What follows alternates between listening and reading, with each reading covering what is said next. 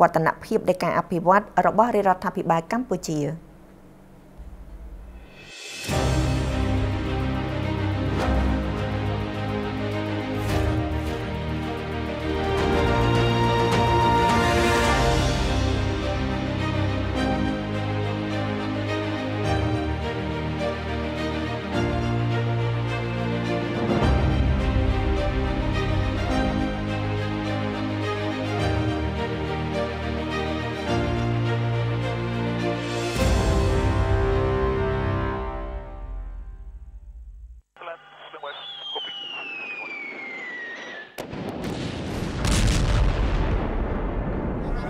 យៈពេលជាង40ឆ្នាំរហូតដល់ការបញ្ចប់សង្គ្រាមជាស្ថាពរនៅចុងឆ្នាំ1998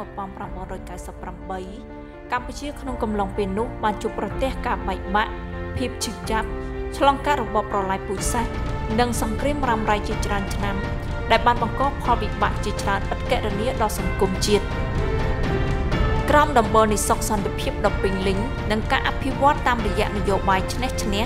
ដែលត្រូវបានចារឹកទុកក្នុងប្រវត្តិសាស្ត្រកម្ពុជា ក្រោមការដឹកនាំប្រកបដោយភាពឆ្លៀសវៃប៉ិនប្រសប់និងមឹងម៉ាត់របស់សម្ដេចអគ្គមហាសេនាបតីនាយកហ៊ុនសែននាយករដ្ឋមន្ត្រីនៃព្រះរាជាណាចក្រកម្ពុជា និងជាប្រធានគណៈបកប្រជាជនកម្ពុជា ជាស្បិតាស្ថាបនិកសន្តិភាព ជាមួយនឹងគុណបំណាច់របស់ថ្នាក់ដឹកនាំគ្រប់លំដាប់ថ្នាក់កម្ពុជា ត្រូវបានរំដោះប្រទេសចេញពីភ្នក់ភ្លើងសង្គ្រាម បង្កើតបាននូវការបង្រួបបង្រួមជាតិឯកភាពជាតិសុខសន្តិភាពបូរណភាពទឹកដី និងវឌ្ឍនភាពសង្គមសពថ្ងៃប្រជាជនកំពុងរស់នៅយ៉ាងសុខសាន្តប្រកបដោយសុភមង្គល ដែលបានមកពីទឹកដមនៃសន្តិភាព និងផ្លែផ្កានៃការអភិវឌ្ឍដែលធ្វើឲ្យជីវភាពគ្រប់យ៉ាង នៅក្នុងសង្គមជាតិមានដំណើរការកាន់តែប្រសើរឡើងជាលំដាប់ រាជរដ្ឋាភិបាលកម្ពុជានីតិកាលទី6នៃរដ្ឋសភានេះបាននឹងកំពុងកសាងហេដ្ឋារចនាសម្ព័ន្ធអភិវឌ្ឍធនធានមនុស្សរួមទាំងការកសាងហេដ្ឋារចនាសម្ព័ន្ធរូបវ័ន្តក្នុងគ្រប់តំបន់ទូទាំងប្រទេសដំណើរទាំងអស់បាននឹងកំពុងប្រព្រឹត្តទៅយ៉ាងរលូនដូចជាវិស័យទឹកស្អាត ប្រព័ន្ធលូការប្រើប្រាស់ធម្មពលអគ្គិសនីការស្ថាបនាផ្លូវកៅស៊ូផ្លូវបេតុងស្ពានមន្ទីរពេទ្យមណ្ឌលសុខភាព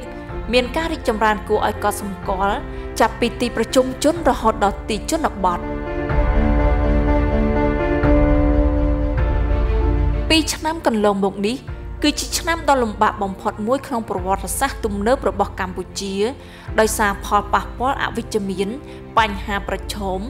និងហានិភ័យជាច្រើនដែលមិនធ្លាប់មានពីមុនមក បណ្ដាលមកពីជំងឺ Covid-19 រាតត្បាតជាសកល ទោះបីជាយ៉ាងនេះក្តីក្រោមការដឹកនាំដ៏ឆ្លៀសវៃប៉ិនប្រសប់និងការចង្អុលបង្ហាញផ្ទាល់យ៉ាងសស្រាក់សស្រាំមោះមុតរបស់សម្ដេចអគ្គមហាសេនាបតីតេជោហ៊ុនសែននាយករដ្ឋមន្ត្រីនៃព្រះរាជាណាចក្រកម្ពុជានិងជាប្រធានគណៈបកប្រជាជនកម្ពុជា បានកំណត់យុទ្ធសាស្ត្រចាក់វ៉ាក់សាំងធ្វើឲ្យគ្រប់គ្រងបាននៅការរីករាលដាលនៃជំងឺ Covid-19 ធ្វើឲ្យស្ថានភាពបានវិលត្រឡប់យ៉ាងឆាប់រហ័សទៅរកប្រក្រតីភាព ថ្មីនៃជីវភាពរស់នៅរបស់ប្រជាពលរដ្ឋទូទាំងប្រទេសទោះជាមានវិបត្តិកូវីដក៏ដោយក៏សេដ្ឋកិច្ចកម្ពុជារក្សាបាននូវកំណើនជាង4%នៅឆ្នាំ2022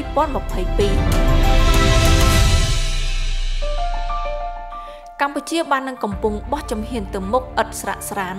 ទាំងផ្នែកការពិជាតិការអភិវឌ្ឍស្ថាប័ននិងអភិបាលកិច្ចការពង្រឹងវិស័យសុខាភិបាលនិងអប់រំព្រមទាំងការធ្វើពិពិធកម្មសេដ្ឋកិច្ច ទំនាក់ទំនងពាណិជ្ជកម្មតំបន់និងសកលដូចជាការធ្វើសមាហរណកម្មពាណិជ្ជកម្មក្នុងក្របខ័ណ្ឌអាស៊ាន ការបង្កើតកិច្ចព្រមព្រៀងពាណិជ្ជកម្មទ្វេភាគី និងការចូលរួមកិច្ចព្រមព្រៀងពាណិជ្ជកម្មសេរីពហុភាគីជាដើមបច្ចុប្បន្នរាជធានីភ្នំពេញមានអគារខ្ពស់ជាង2000និងផ្លូវជាច្រើនខ្សែព្រមទាំងហេដ្ឋារចនាសម្ព័ន្ធតភ្ជាប់នានាជាច្រើនទៀត ដោយឡែកក្រុងសៀមរាបដែលជាទីក្រុងធំទី2របស់កម្ពុជា បានសម្រេចនូវសមិទ្ធផលផ្លូវចំនួន38ខ្សែដោយត្រូវបានសាងសង់រួចរាល់100%ដែលធ្វើឲ្យទីក្រុងទេសចរមួយនេះ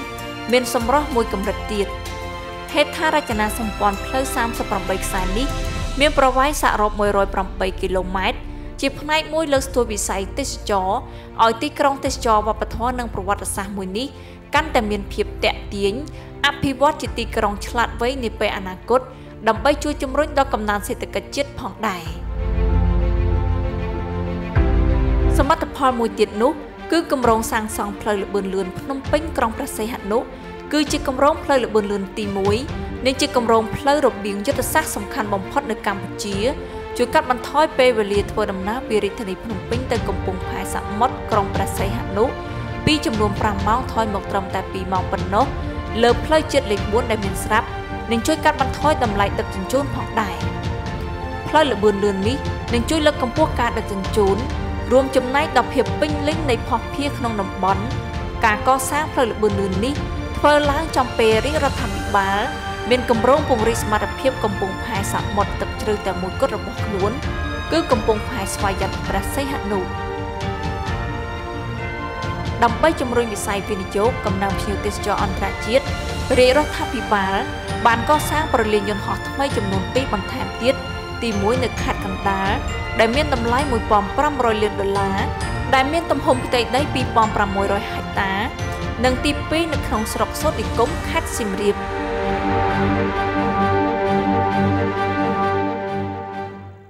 ក្រៅពីនោះរាជរដ្ឋាភិបាលកម្ពុជា បានគោរពយ៉ាងខ្ជាប់ខ្ជួននៅគោលការណ៍លទ្ធិប្រជាធិបតេយ្យសេរីពហុបកតាមរយៈការរៀបចំយ៉ាងទៀងទាត់នៅការបោះឆ្នោតដោយសេរី ត្រឹមត្រូវ និងយុត្តិធម៌ដើម្បីឲ្យប្រជាពលរដ្ឋជ្រើសតាំងតំណាងដឹកនាំប្រទេស ជានីតិរដ្ឋនិងជារដ្ឋអធិបតេយ្យដែលមានឯករាជ្យនិងបូរណភាពទឹកដីពេញលេញកម្ពុជាដែលមានសម្ដេចអគ្គមហាសេនាបតីតេជោហ៊ុនសែនជាថ្នាក់ដឹកនាំ បានបដិញ្ញាចិត្តរួមគ្នា ការពារឲ្យបានដាច់ខាតនូវសន្តិភាពសន្តិសុខនិងស្ថិរភាពនយោបាយរួមគ្នាពង្រឹងឯកភាពជាតិហើយបដិញ្ញាបន្តកសាងប្រទេសជាតិឲ្យកាន់តែរីកចម្រើនឆ្ពោះទៅកាន់ចក្ខុវិស័យនៃប្រទេសដែលមានចំណូលមធ្យមកម្រិតខ្ពស់នៅក្នុងឆ្នាំ2030និងជាប្រទេសមានចំណូលខ្ពស់នៅក្នុងឆ្នាំ2050ក្លាយជាអរិយប្រទេសជឿនលឿនមួយនៅក្នុងតំបន់ ជាសង្គមប្រកបដោយភាពសុខដុមរមនានិងសេចក្តីស្រឡាញ់ដោយគ្មានការកកើតឡើងជាថ្មីនៅសង្គ្រាមអំពើប្រល័យពូជសាសន៍និងការបែកបាក់ផ្ទៃក្នុងជាតិដូចពេលមុនទៀតឡើយ។